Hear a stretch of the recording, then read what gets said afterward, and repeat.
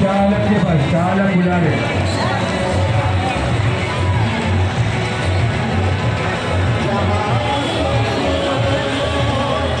शाबाश इधर